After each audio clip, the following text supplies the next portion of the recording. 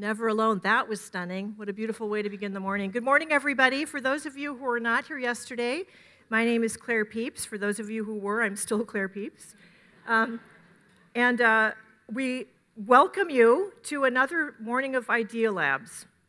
For those who are joining us today, we know that we, our, our work is rooted in art, and we are beginning our day with art. And I want you to acknowledge that the artists who are presenting had to be here at 6:30. So that yes.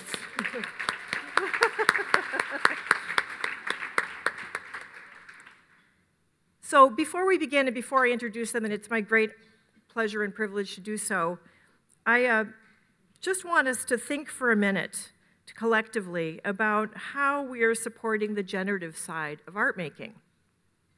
Even if we don't support artists directly, and in truth, only really a small number of us do, let us at least think deeply about the critical, if indirect, pathways that our funding can ultimately provide to working artists. Durfee provided grants to working artists for about 15 years through a program called the Artist Resource for Completion.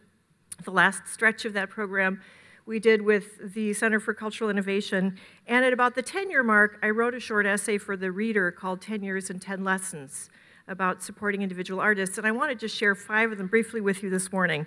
And they are one, artists don't want to be categorized by discipline or career level, but we keep doing it anyway.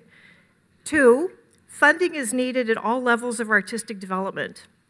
Three, artists support artists so that grants to artists have a very high multiplier effect.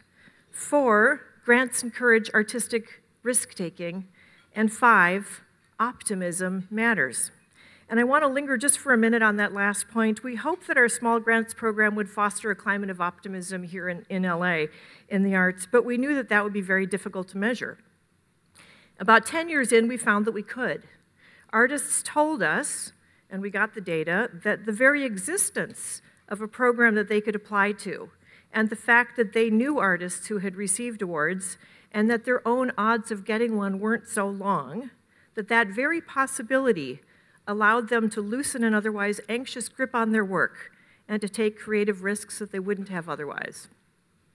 So I just want to share this morning the thought that grants to artists, even small ones, foster optimism in our field and that optimism, I think we could define as the emotional resilience of a community, is very much in our purview as grant makers. Indeed, I would say it's our responsibility. So, without further ado, I'm going to introduce the first of our speakers this morning. It's Rosten Woo, is a designer, writer, and educator living here in LA.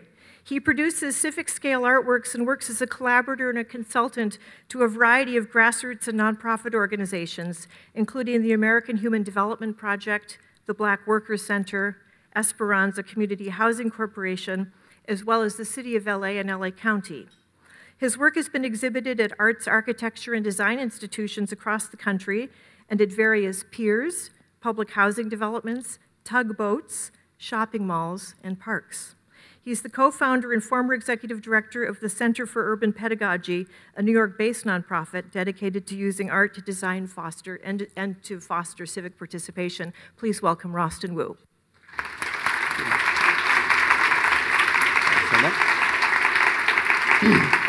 Um, I'm just going to stand here. Yeah? Yeah. Sounds good? Okay. Great. Um, thanks. Good morning. Uh, I'm Rosten Woo. Uh, I'm going to try to play a slide. All right. Um, so the work I'm going to talk about today um, in my eight minutes is the work of interpretation, um, and specifically trying to work in this place I would call the interpretive layer. So you have an observer, you have a landscape, and I'm going to argue that you know between those two things, a lot of really important work can and should should happen. And so I'm going to talk about three things that interpretation can do. Um, so the first thing is I think interpretation can make something legible. Um, this is a project called Vendor Power. I produced it um, when I was uh, the director of the Center for Urban Pedagogy.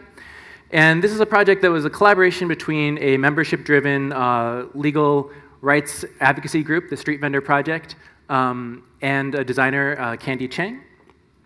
And so if you look at these slides, I don't know if you can see them very clearly, but this is currently, um, these are example of some of the legislation around uh, street vending. These are the, this is where you're allowed to vend uh, in Manhattan. Um, so as you can see, even if you're a native English speaker with a law degree, this would be a fairly difficult thing for you to understand um, exactly what your rights and responsibilities are in this situation. So we worked with the Street Vendor Project to turn this kind of code, which is spread across like three different types of administrative um, systems, um, you know, regulating everything from like street traffic to, to food safety, um, and try to distill it into this, which is a fold-out poster um, that explains your, your, rights and responsibilities as a vendor. And it's not just a tool for communication for vendors to understand like, you know, what they're allowed to do, where they're allowed to put their tables, where they're allowed to place their boxes, but also a tool for communication. Um, in interactions with store owners or with police, it's something that they can pull out and point to, well, this is where I know I'm allowed to be, this is where I know I'm supposed to, supposed to, to vend. Um, and so it's used as, you know, as little like, uh, you know, little language as possible. It's all visual um, and numeric. Um, on the reverse side, there's oral histories of street vendors and a description of the kind of overall legal framework of street vending in New York City, um, and in five ways that the Street Vendor Project suggests that that, that regulation could be reformed. So this is something where we uh, distributed uh, 10,000 of these through the Street Vendor Project, and as kind of a nice coda to it, um, the Department of Cultural Affairs, uh, Department of Consumer Affairs in New York decided that it was something that they actually should be doing themselves and printed an additional 10,000 and now distribute it to street vendors themselves. So that's an example of something where I think that visual work can really help make something that is formerly almost impossible to understand, you know, really readily accessible. Another thing that interpretation can do is to make something complicated. This is a project I've been doing this last year at a spot called the Bowtie Project. Uh, it's a little strip of state park land, or it's owned by state parks. It's adjacent to the LA River. And um, it's, you know, if you go there, it mostly looks like an industrial site now, but they're putting programming there to help people kind of bring people to the river and change the way they think about that site. So this is a site where you know, there's actually kind of a, a lot of uh, programming around it already, done by state parks and an organization called Clock Shop. Um, these signs try to kind of complicate that situation a little bit. So this is a, one of them. It uh, talks on the left about river hydrology and on the right about sort of the relationship between public investment and kind of private investment, private gain. So the way that uh, the public development of a park might you know, increase real estate values in the neighboring areas. Um, so kind of complicating that space a, a little bit further. Um, the sign next to it is a map of, of the parcel and also talks about camping. And the reason why it talks about camping is because one of the things that State Parks is trying to do is, uh, is bring people to the river in these urban campouts. But the sort of the interesting, so on one side there's a history of camping and the development of the, of the organized campsite, and on the other side there's a description of um, kind of the criminalization of homelessness in, in New York City and the way that another form of camping, which also definitely takes place in this exact same stretch of the LA River, is you know, actively criminalized and, and made into something that people are, are really not allowed to do. So there's a simultaneously encouragement and criminalization that's happening on that site. And so um, you know, they bring all kinds of tour groups out here. Girls, this is a Girl Scout troop that's camping on the site. Um, and the idea is to sort of make this place that you know, might seem very legible, very understandable, and turn into something that, that becomes a little bit more of a, a richer, more complicated experience. Um, the last thing I want to talk about is the way that interpretation can make something just visible. Um, this is a project I did a few years ago for the LA County Arts Commission, um, and this is a project based in Willowbrook. So Willowbrook is a, uh, it's a little stretch of unincorporated LA County in between Watts and Compton. And the way that a lot of the planning that's been happening, there's been a lot of public investment there and a lot of planning has been, is underway. And I was sort of brought in to sort of bring some kind of arts, an arts angle, I guess, into that process. And it occurred to me after familiarizing myself with that situation that a lot of the way that the consultants and the planners who'd been brought in approached that neighborhood was really just as a kind of a place of pathology, a place that's broken, a place that has gangs or drugs. Um, and they're sort of like, well, how can we make some projects to just kind of like help fix this messed up place? You know, like maybe there should be like a bike path and a farmer's market. And everything was coming, coming from a place of, uh, of, you know, just seeing what was wrong. So I thought the most useful thing I could do in that situation would be find a way to kind of make visible other things that were happening in this, what is actually kind of like a very beautiful rural, um, you know, neighborhood. Um, so part of that project, there was a home and garden and vehicle tour, and then there was a book that documented uh, documented those things. So in this book, you'll you know read stories about people like this. Um, Sandy and Harry, who have a kind of world class uh, turtle collection and succulent plant collection. Um, this man, who is a, a former aerospace engineer, um, who's kind of like dedicated his inter- interior living room as like kind of like a shrine to, to space exploration. Um, you know, just people who are, you know, normal people who have, you know, just beautiful homes that they've, they've, they've spent a lot of time, you know, developing and building their gardens. Um, this is a sculptor, Charles Dixon, who also happens to have the world's largest collection of super soakers. Um, the super soaker itself was invented by a black aerospace engineer um, in, a neighbor, in, a neighboring neighborhood. Um, this is a dog training club that's completely volunteer uh, run uh, by two former truck drivers. Um, they meet every Sunday to train people's dogs um, for free. This is a fountain that uh, a self taught stonemason constructed in his backyard out of the rubble from the construction of the 105 freeway. Um, this is a, the Centennial Marching Band that has uh, special compositions that were written for it um, by Barry White's band leader.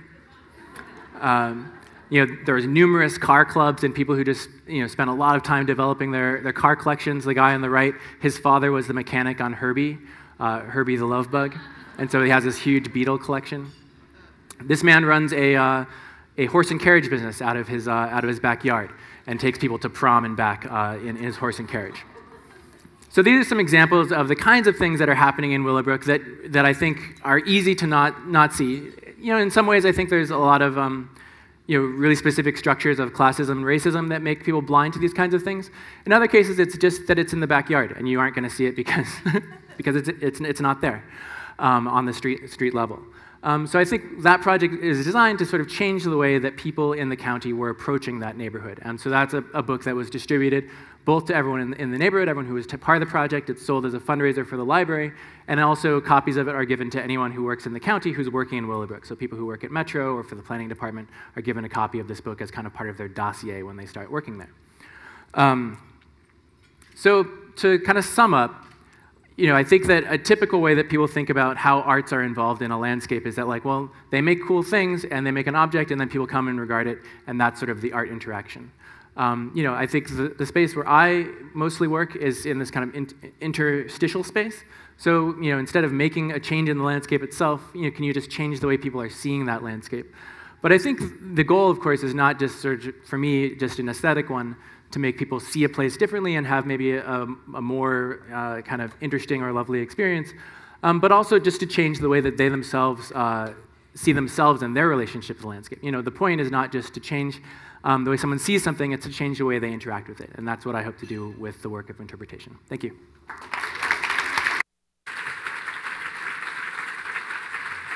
Yay, thank you, Rosten, for starting us off. Rosten mentioned to me that he's an artist in residence this year at the San Francisco Exploratorium. So if you're going to be in San Francisco, take a look for his work up there. Our second fantastic artist this morning is Crystal A.M. Nelson. She's a scholar and artist who examines representations of race, gender, and sexuality in high art and in popular culture.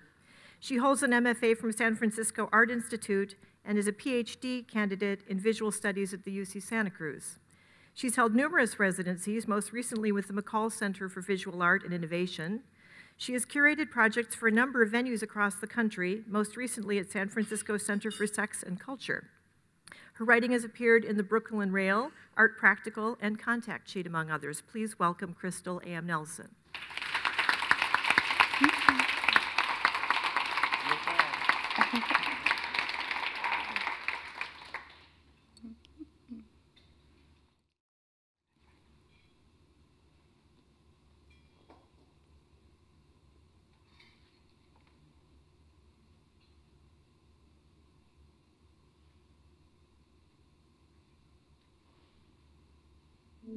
1,000 policemen stays on the alert as the thousands of guardsmen patrol an area of 35 square miles. No formula, no water, and they, and they want us to survive out here. Multi-billion dollar company winds up not paying a penny in any federal income tax. Before the recession, 26 million Americans were on food stamps. Now more than 46 million. This is an impressive crowd, the haves and they have more. New York is now largely safe thanks to aggressive policing. He ain't armed. He don't got no gun. They just killed this nigga.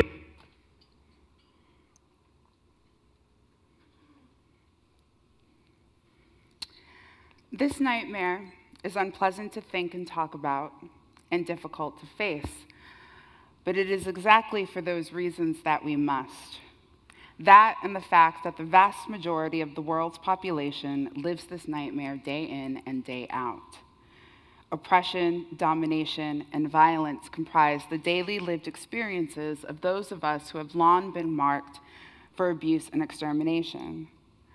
As a member of such targeted groups and as an artist, it is my obligation to grapple with this unbearable reality, to stare it in the face and illuminate its deleterious effects, trace the residue of historical trauma that seeps into contemporary life in ways that, while disturbing and surprising, are not unexpected. As Freud astutely argued, trauma returns and returns until adequately confronted and worked through. We only need to take account of recent events and scan the plethora of images circulating the media sphere to see just how right Freud was. And it is this material that is the foundation of my practice.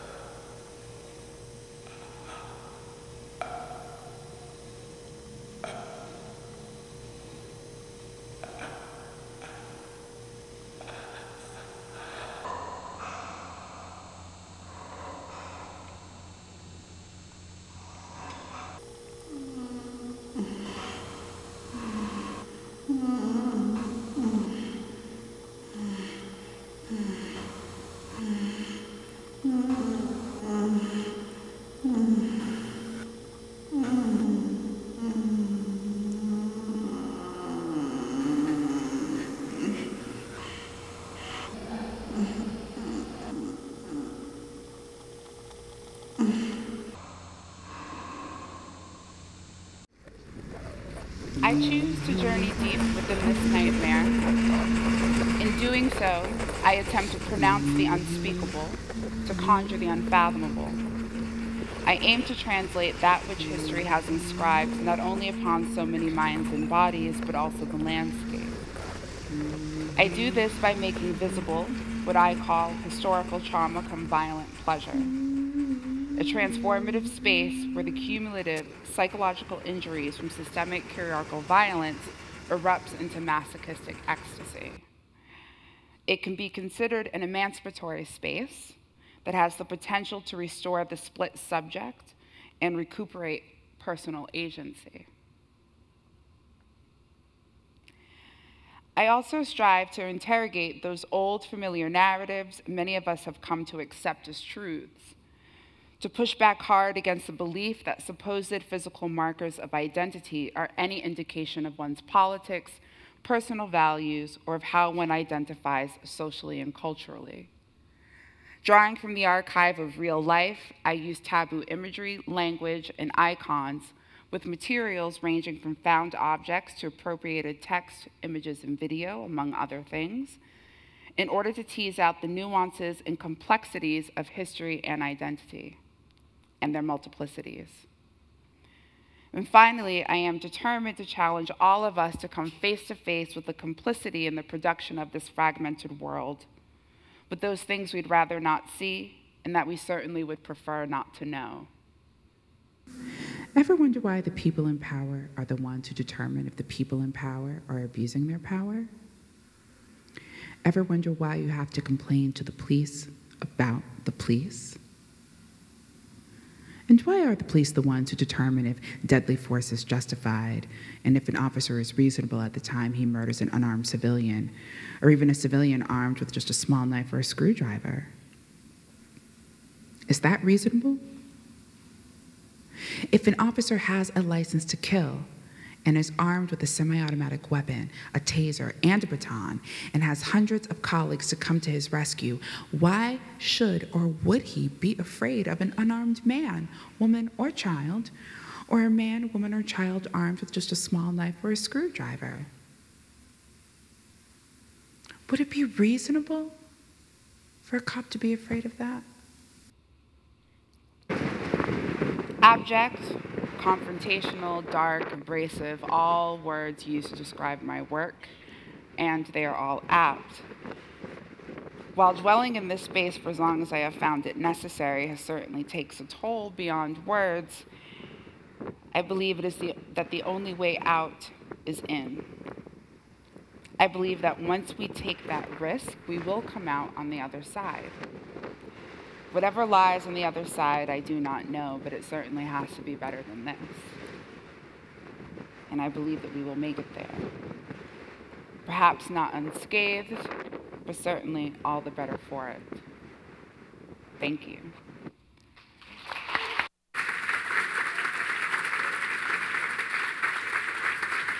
Wow.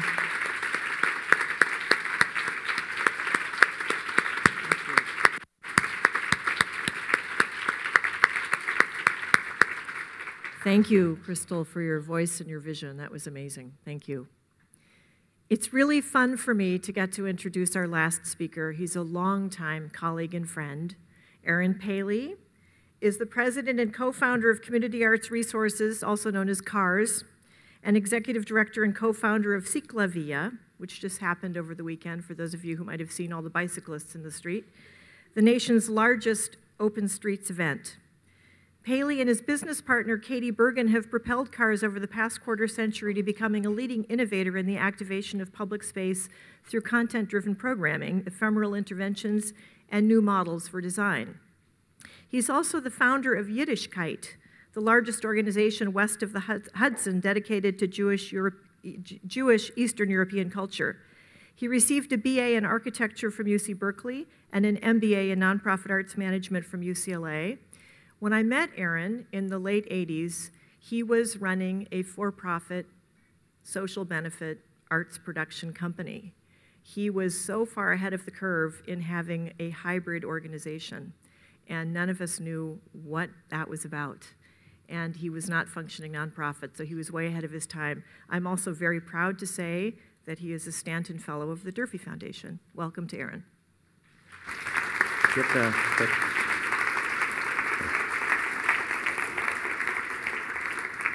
Thank you. It's an honor to be considered an artist with these artists here on stage. Uh, I don't think of myself as an artist. Uh, I think of myself as a producer of arts events and as somebody who facilitates artists and works with them uh, to help give them the stage. Uh, and I do that through a, a, variety of things. So, what I wanted to talk to you about is how I got to doing this. Because as a kid, I wasn't interested in art at all. I made my mom, I remember in ninth grade, I was forced to be in an art class and I asked my mom to get me out of it. It's like, how do I get out of this class? It's so boring, you know.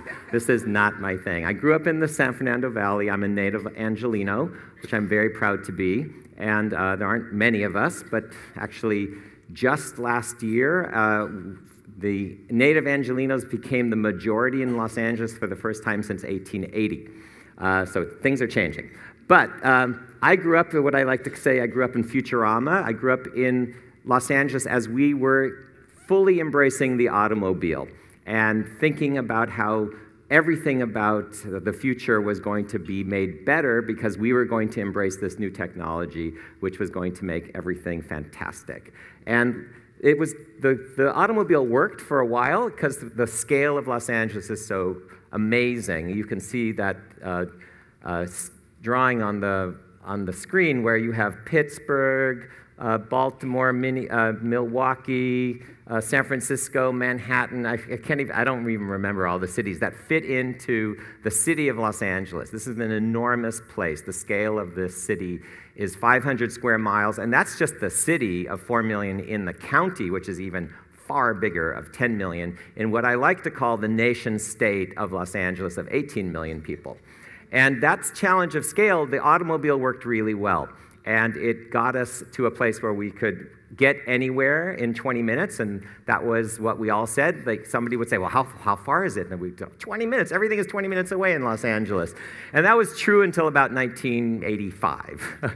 um, but it, you know, this is the Julius Shulman's famous picture of the case study houses, and it allowed us to to live that that dream or to think that we were living that dream because I just found out that Los Angeles is the seven, of the top 75 cities in the United States. We are number 75, the lowest in home ownership rates.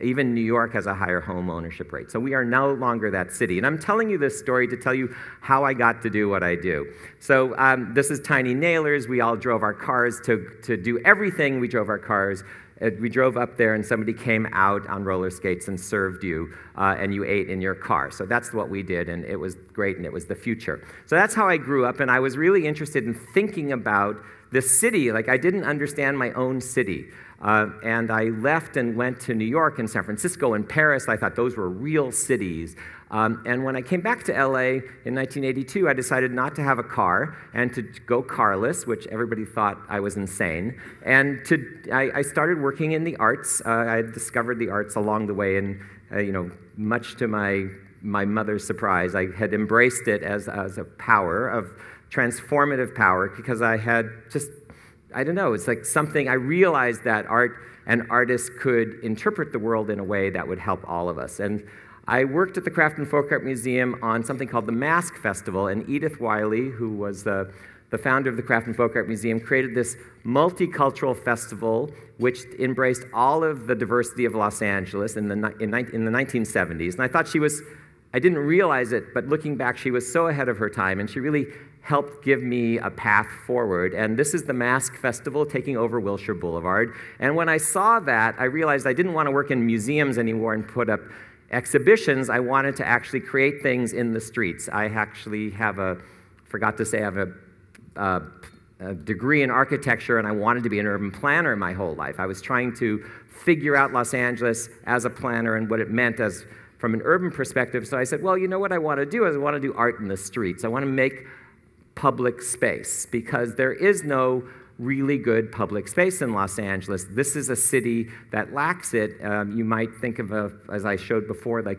we're great with um, residential architecture. We're famous for our houses, but we're not necessarily famous for a place like Central Park or Golden Gate Park or you know a wonderful square. So, um, well, what I was thinking about um, as we started our work, as Claire said, we created something called Community Arts Resources, uh, in the late 80s, and we, I had already set up a not for profit. The Fringe Festival was the first Fringe in the United States. And I said, I don't want to deal with a board. I don't want to have all of that craziness. I just want to do our work. So we set up a small business and said, we're just going to do it. You know, and we, we didn't talk about it being a social benefit corporation with a triple bottom line. We just said, oh, of course, we, we're going to do good stuff. And we're going to do good stuff for for, for arts and for Los Angeles. We're going to be about community, we're going to be about arts, and we're going to be about providing resources to those people. So later, all this vocabulary started coming to us. Oh, we're, we have a triple bottom line, you know, we're a hybrid organization. We just did what made sense.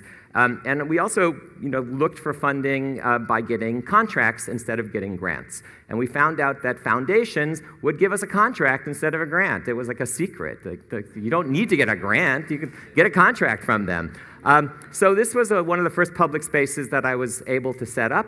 It's called uh, California Plaza's Grand Performances. This is in 1989. It still exists uh, 25 years later. It's an ongoing outdoor free performing arts series that's run by Michael Alexander. Uh, I helped set this up in 1988 as part of the CRA's 1% for Art uh, program, and instead of creating a big public sculpture, we used the 1% to create a stage, and then I said that all of the buildings and the development around it would have to pay in perpetuity to allow the performing arts to function here, and that's the first thing, that was like my first contract.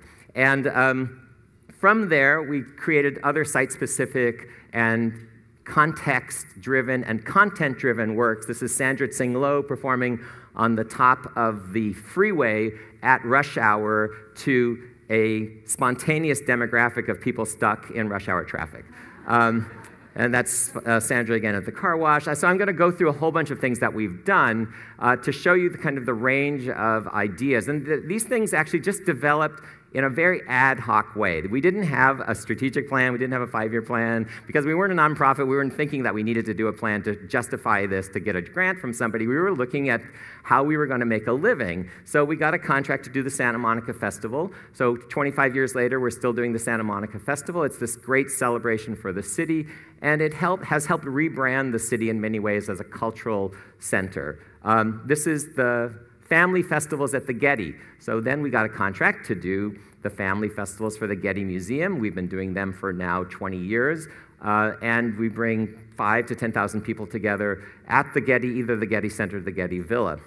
Um, this is a, a, another family festival at the Getty Villa. And every time what we do is we try, we definitely don't work down to people. We actually try to elevate things. When we do a family festival, we aim for the highest common denominator, not the lowest. We think people are really smart, and if we design a really great workshop or a series of events that the adults are going to be engaged in, then the kids are going to want to do them. So uh, it's all working. So this is, we like to think about spectacle, we like to think about fun. Um, this is 100 taiko drummers in the streets for the opening of the Japanese American National Museum. Uh, this is a site specific work with a, an artist that we, uh, Peter Tigler, who creates these paint by, by number murals that actually develop over time during the course of a day.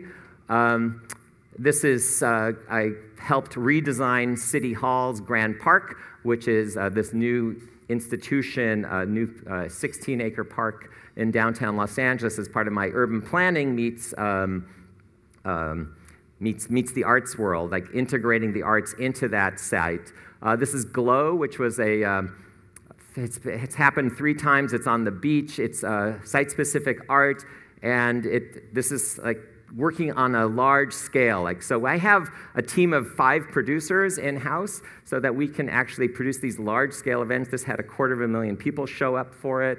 Um, and we also do, uh, we have urban planners and staff, and we're thinking about working with neighborhoods, rebranding neighborhoods. This is Chinatown Summer Nights. This was a, a, a concept that we came up with to get people to come downtown to, to Chinatown to go shopping and to go to the restaurants. So it's really a, something that was driven primarily to, to get businesses more money, but we created it as a cultural context and create, made it content driven so that everybody wins in this situation. So the businesses do well and people learn about stuff. This is the opening of the Downtown Women's Center. This is a parade that we did down the street, reactivating Broadway. So in all of our things that we're doing, we're thinking about um, where we are in the neighborhood, how we can integrate the arts effectively, what we can do differently, um, how we can think of this seamlessly and authentically, and how we can redefine the place so that people coming to that site will think about it differently. So, this is the Immigrant Rights March from 2006, and it was an inspiration for me to start thinking about other models for LA and thinking bigger now, like even bigger than a, than a square or a park. And so, this was a million people, and uh, I couldn't believe I had never seen a million people on the streets, and I got a grant. Thank you. Uh, I got a fellowship from Claire which led to me discovering Ciclovia in Bogota, Colombia, and creating something in LA, a car free event, which is now on the scale of the city, which everybody just adores. It's really the, the, the darling of Los Angeles now. It's the largest car free event in the United States. We have 50 to 100,000 people on the streets. We take over six to 10 miles, and we have created a new brand for LA. We've actually so, what I've done is I've started in the arts, working with communities and thinking about how content and artists can recreate space. And now we're working on the scale of the city and redefining Los Angeles for Angelinos and allowing us to retake the streets as our public space, and so that we don't need to just have uh, good public spaces in shopping malls or in the Getty Center, but every single street in Los Angeles is now a public space that belongs to us. And we're redefining this now, not only for Los Angeles, but other cities are beginning to copy us because they're saying if Los Angeles can do this, then San Jose can do it or San Antonio can do it. And these are the cities that are, have, are coming to us and looking for, to us for inspiration. And so I, I'll leave you with that. Uh, it's like uh, this last image, I was San Fernando Valley in March, and this woman was on the phone, and she was, it was the end of the day, the sun was setting, and she said, You, ha- you have to come down here. People are happy. so, thank you very much.